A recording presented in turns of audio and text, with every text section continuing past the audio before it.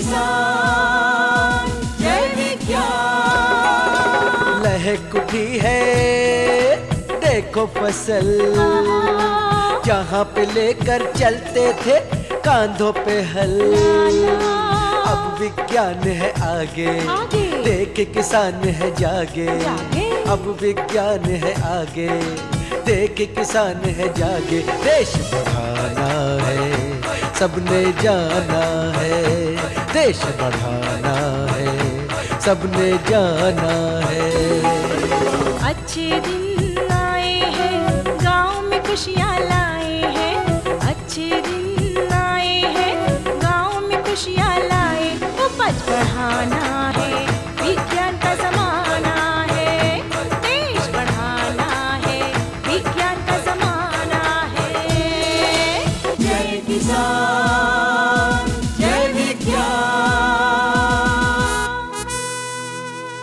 किसान जय विज्ञान।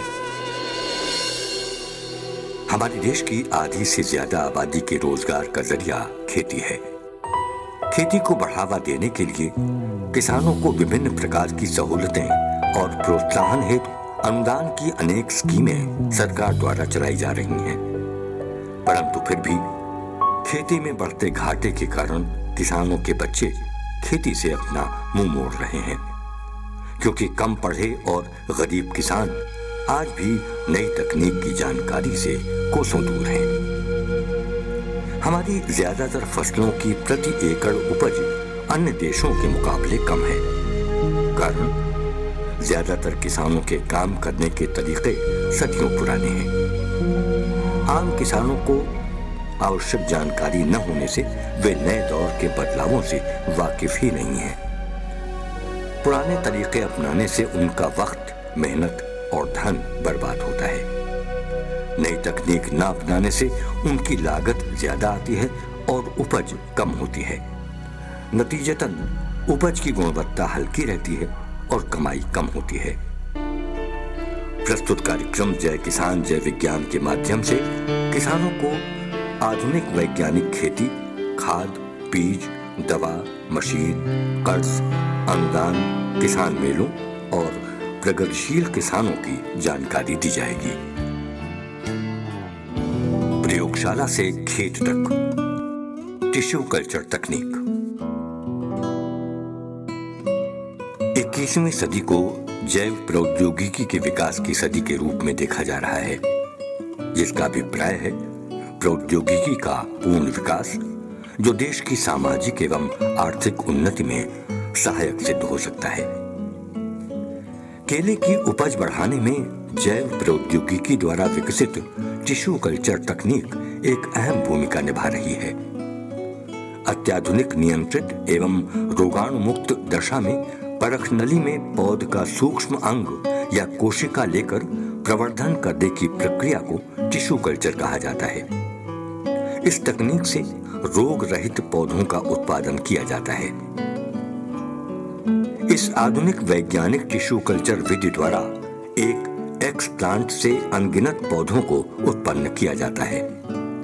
फलस्वरूप, हज़ारों नए पौधों को उत्पन्न करने के लिए बीज हेतु बहुत कम स्टॉक में पौधों की आवश्यकता पड़ती है। टिश्यू कल्चर विधि तेज़ी से गुणन, सूक्ष्म प्रवर्धन का प्रारूपित गुण है। इसके द्वारा अन्य किसी विधि की तुलना में कम समय में अधिक संख्या में प्रारूपी पौधों के समरूप को उत्पन्न किया जाना संभव हो सका है। केला भारत का एक महत्वपूर्ण फल है, जो पूरे वर्ष उपलब्ध रहता है। देश में फ़सलों के कुल क्षेत्रफल में 20 प्रतिशत हिस्सा केले की उपज का है। इसीलिए किसान अगर आधुनिक टिश्यू कल्चर से केले की पौध लगाएँगे तो अधिक मुनाफा कमा सकते हैं। कम समय में अधिकाधिक लाभ प्राप्त करने के उद्देश्य से सरकार कृषि वैज्ञानिक प्रयोगशालाओं एवं उद्यान विभाग द्वारा टिश्यू कल्चर तकनीक से उत्पादित केले की पौध किसानों को उपलब्ध करा रही है, जिससे कम क्षेत्रफल में अधिक उत्पादन करके किसान समृद्ध हो सके। नई तकनीक, छोटा पॉली हाउस बड़ा फ़ायदा। पॉली हाउस उत्पादन सुरक्षित खेती की एक उपयुक्त और लाभकारी तकनीक है। इसकी सबसे बड़ी खासियत यह है कि किसी भी तरह के मौसम में इसके अंदर सुविधानुसार तापमान रखा जा सकता है। फूलों और बेमौसम की सब्जियों के लिए उपयुक्त तापमान की आवश्यकता पड़ती है।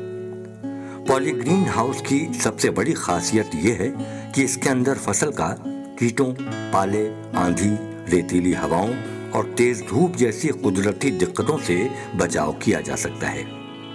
साथ ही इसमें पानी की भी कम ज़रूरत पड़ती है, क्योंकि प्लास्टिक की शीट पानी को भाप बनने से रोकती है। इसीलिए इस तकनीक से कम ज़मीन से लाखों रुपए कमाए जा सकते हैं। इसी कारण आजकल विभिन्न प्रकार के ग्रीन हाउस पंक्ति आवरण लो टनल्स आदि संरक्षित आवरण के रूप में बहुतायत से प्रयोग में किए जाने लगे हैं।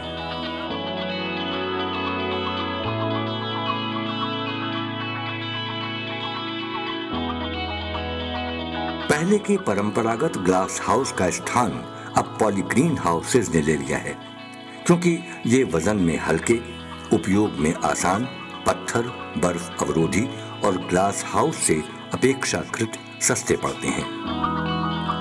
तीन वर्षों के उत्पादन से इसकी लागत से अधिक लाभ किसान को प्राप्त हो जाता है।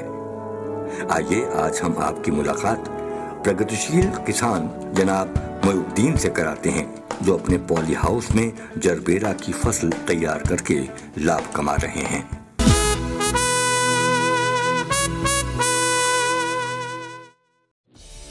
किसानों से होंगे सवाल। देंगे सटीक जवाब तो जीतेंगे किसान कप किसानों का खुला मंच।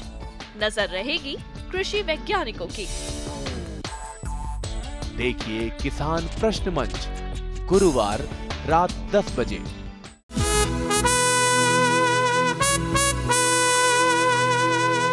मैंने लखनऊ विश्वविद्यालय से एल करने के बाद कुछ नया करने का सोचा कि कुछ किसी नए क्षेत्र में जाएँ।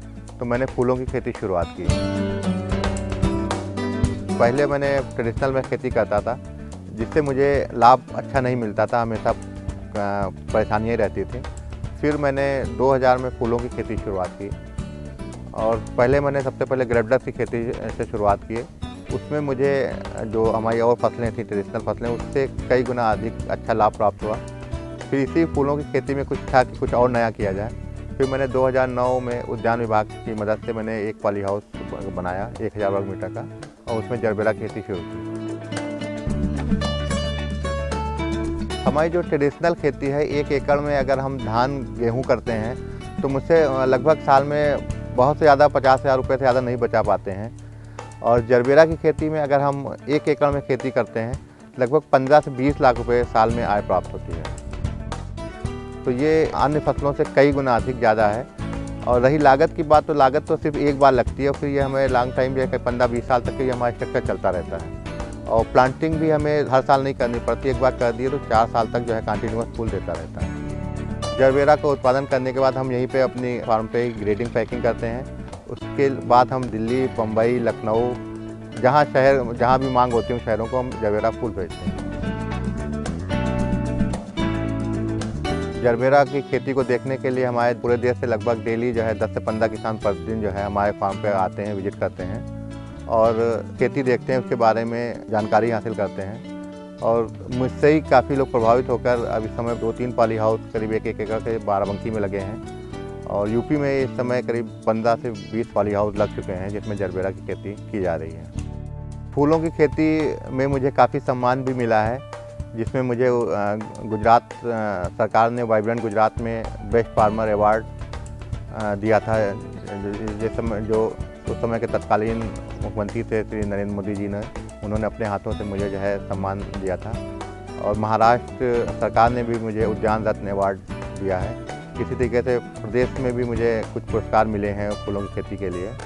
अपने जो युवा हमारे नौजवान हैं, जो नौकरी के तलाश में गाँव से दूर जा रहे हैं उनके लिए यही है कि अगर अपने गाँव में भी रोज़गार तलाशें तो ये एक पॉली हाउस में खेती जो है एक अच्छा अवसर है, जिसमें वो अधिक लाभ कमा सकते हैं। पॉली हाउस के निर्माण के लिए सरकार सजग है। इसीलिए ग्रामीण और शहरी इलाकों के निवासियों को जागरूक किया जा रहा है। पहले न्यूनतम 1000 वर्ग मीटर का पॉली ग्रीन हाउस बनाने पर ही सरकार द्वारा अनुदान दिया जाता था। जिसकी अधिक लागत के कारण छोटे किसान इसका लाभ नहीं ले पाते थे। परंतु अब गाँव या शहर कहीं भी न्यूनतम 500 वर्ग मीटर और अधिकतम 4000 वर्ग मीटर क्षेत्र में पॉली हाउस बनाने पर 50 प्रतिशत का अनुदान उद्यान विभाग द्वारा दिया जाएगा। भारत सरकार के नेशनल हार्टिकल्चर मिशन के अंतर्गत पॉली हाउस तैयार करने की आवश्यक जानकारी किसान प्रादेशिक कृषि या उद्यान विभाग से प्राप्त कर सकते हैं। कृषि विविधीकरण, गुलाब की व्यावसायिक खेती।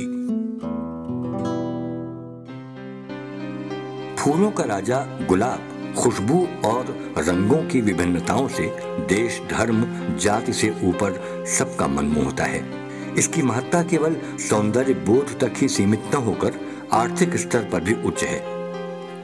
फूलों से आसवेद गुलाब का तेल, यानी रूह गुलाब, अंतर्राष्ट्रीय सुगंध बाज़ार में अच्छी दर से बिकता है। इसीलिए किसान भाइयों की आर्थिक स्थिति के सुधार के लिए गुलाब की खेती पर सरकार द्वारा प्रोत्साहन राशि प्रदान की जाती है। आइए आज हम आपको मिलवाते हैं श्री गया प्रसाद मौर्य से जो गुलाब की खेती करके उससे ताजे चुने हुए फूलों के जल आसवन से गुलाब जल भी तैयार करते हैं। हमारे यहाँ पहले हमारे बाबा पिताजी जो है गेहूँ धान की खेती करते थे, जिसमें कि आमदनी कम थी प्रॉफिट कम था।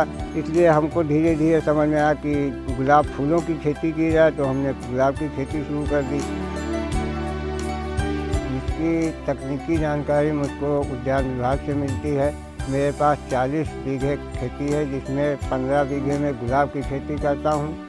इससे जो है, अपने ही प्लांट से हमको पेड़ भी, पौध भी तैयार कर लेते हैं और इसकी पुनिंग करनी पड़ती है। एक साल के बाद जो है, अक्टूबर, नवंबर में कटाई, छटाई हो जाती है और उसकी गुड़ाई वगैरह करके फिर खाद पानी देते हैं। ढाई से तीन महीने के बाद फिर से फ्लावरिंग चालू हो जाती है। इस टाइम इसमें फ्लावरिंग बहुत ही बेस्ट चल रही है, बहुत ही बढ़िया है।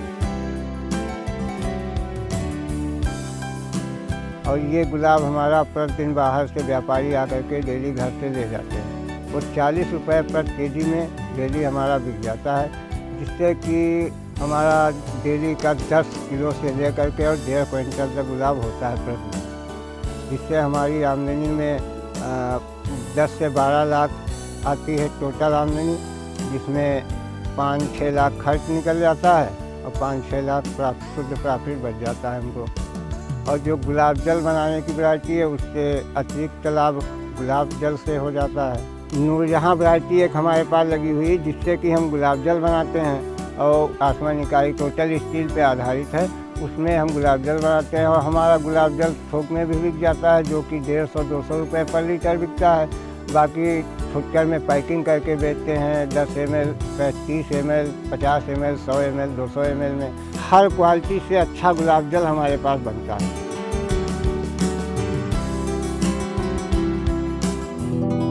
उपलब्धि। प्रगतिशील किसान राम सरन वर्मा। अपने गाँव ही नहीं, बल्कि प्रदेश के किसानों को तरक्की की राह दिखाने वाले प्रगतिशील किसान राम सरन वर्मा ने वैज्ञानिक खेती को अपनाकर न केवल अपनी गरीबी को दूर किया बल्कि अब गाँव के दूसरे किसानों को भी आधुनिक खेती के तौर तरीके सिखा रहे हैं।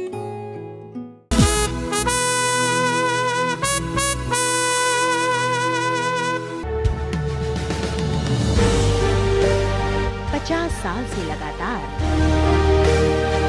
कृषि दर्शन है आपके साथ। खेती की नई तकनीकों से लेकर किसानों की हर समस्या का हल। जारी है कृषि दर्शन का ये सफ़र। किसान चैनल के साथ सोमवार से शुक्रवार, शाम पाँच बजकर तीस मिनट पर।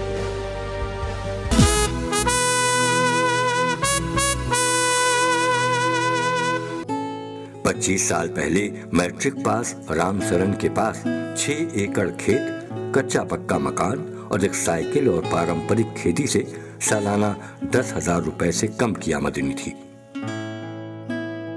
पहले तो हम गन्ना, गेहूँ, धान की खेती करते थे।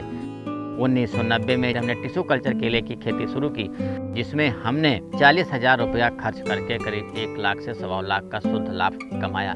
फिर हमने धीरे धीरे करके इसको बढ़ाते गए। आज हम केले की खेती 60 से 70 एकड़ खेती कर रहे हैं। एक एकड़ केले की खेती पर करीब एक लाख रुपया खर्च आ रहा है। दूसरी चीज़ ये है कि ये हमारी तेरह महीने की फ़सल है।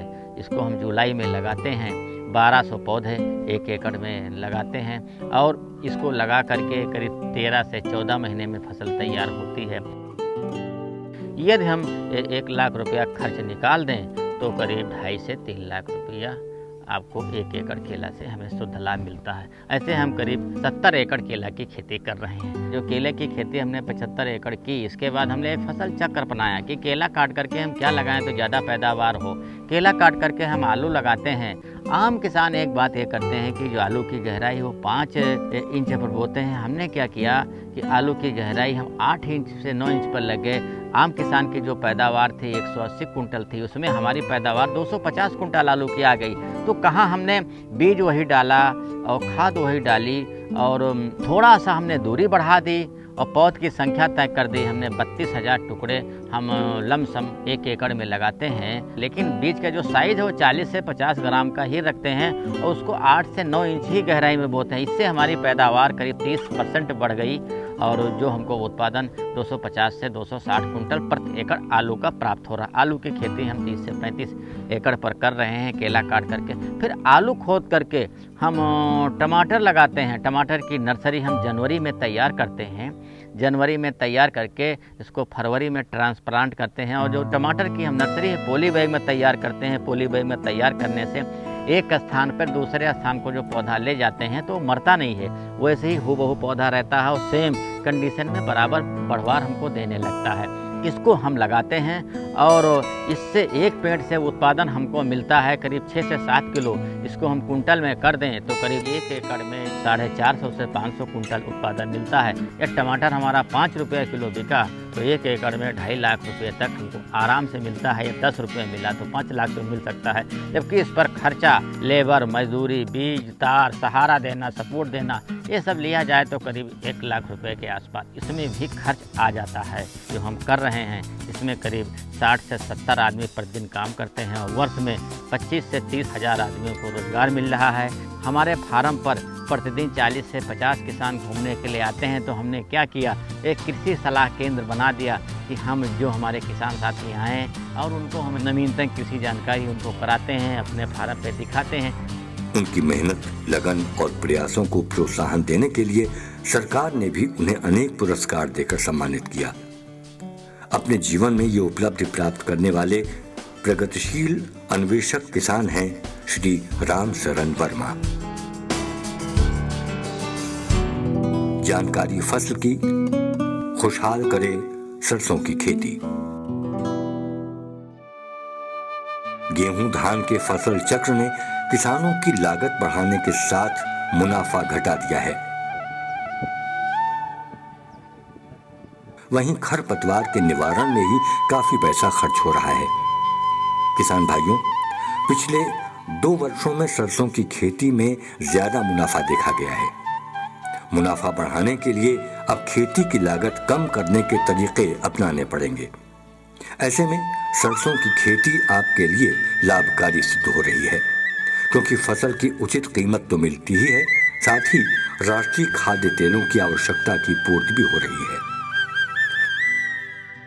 इसके अलावा सरसों की खेती कम लागत वाली फ़सल है। इसे शून्य लागत वाली खेती माना जाता है। एक हेक्टेयर में खेती के लिए बीज तीन से चार सौ रुपए तक में आ जाता है। इसके अलावा जुताई बुआई के बाद कोई खर्च नहीं होता। फ़सल को एक बरसात मिल जाए तो पानी का झंझट भी खत्म हो जाता है।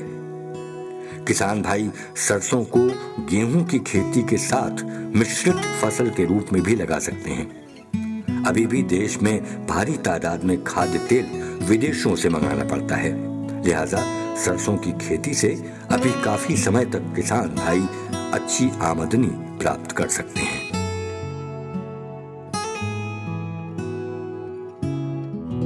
प्रकाश स्तंभ। पद्मश्री हाजी कलीमुल्ला खान। यूँ तो हर किसान पूरी मेहनत से खेती करता है, पर ऐसे लोग कम होते हैं, जो पूरी शिद्दत से काम में डूब जाते हैं। और फिर अंतर्राष्ट्रीय स्तर पर अपने देश और अपने प्रदेश का नाम रोशन कर बन जाते हैं समाज के लिए प्रकाश स्तंभ।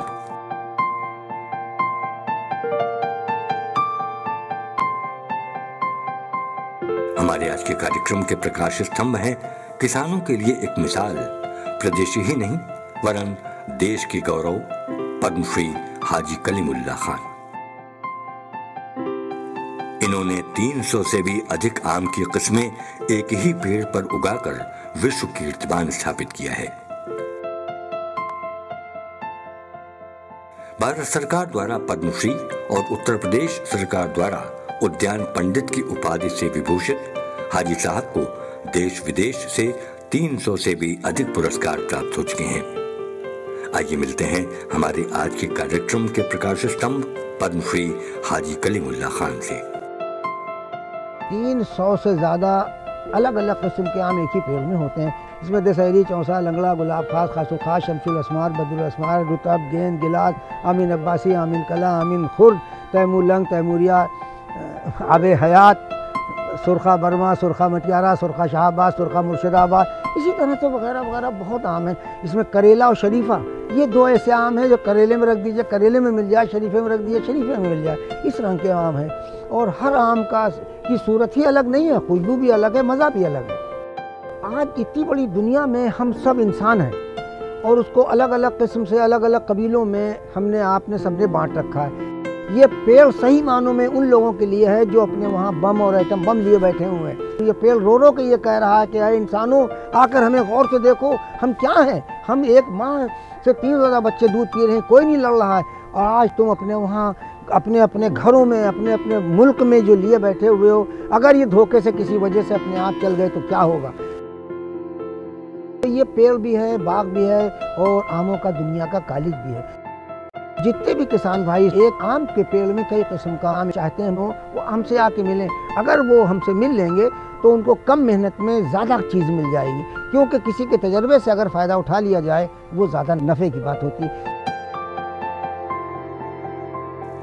हाजी कलीमुल्ला खान का परिवार पिछले डेढ़ सौ वर्षों से आम उत्पादन में संलग्न है। ये हाजी साहब की मेहनत और लगन का ही नतीजा है कि उन्होंने आम को खास बना दिया है। किसान भाइयों, आपके इस प्रिय कार्यक्रम जय किसान, जय विज्ञान के अगले एपिसोड में हम फिर लेकर आएँगे आपके लिए ढेर सारी कृषि विकास संबंधी ज्ञानवर्धक जानकारियाँ। इसी समय, इसी चैनल पर देखना न भूलिएगा। हमें आपका इंतज़ार रहेगा। जय हिंद, जय जवान, जय किसान, जय विज्ञान।